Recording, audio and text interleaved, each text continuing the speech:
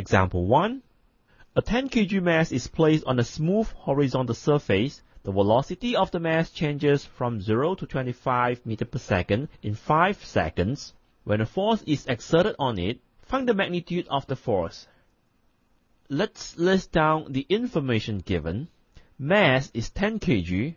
Initially, velocity u is 0. Final velocity v is 25 meter per second. The time taken for the motion t is 5 seconds. We are looking for F. The magnitude of the force can be determined by the equation F equals to ma. m is 10 kg. However, a is not given directly. Therefore, we need to determine the value of a from u, v, and t. Let's see the equations of linear motion. In this case, we don't have displacement. The equation that does not involve displacement is v equal to u plus at. Let's write down the equation. Substitute the values of v, u, and t into the equation. a equal to 5 meter per second square. Now, we can use F equal to ma to find the force. Substitute the values of m and a.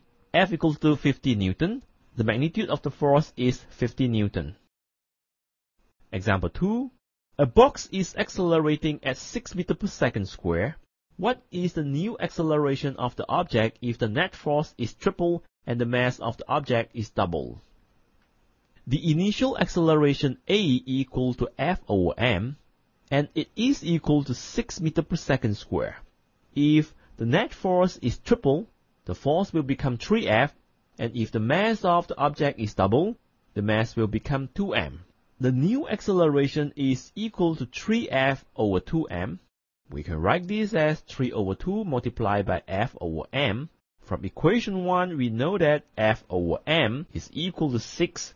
Therefore, the new acceleration is 9 meter per second square.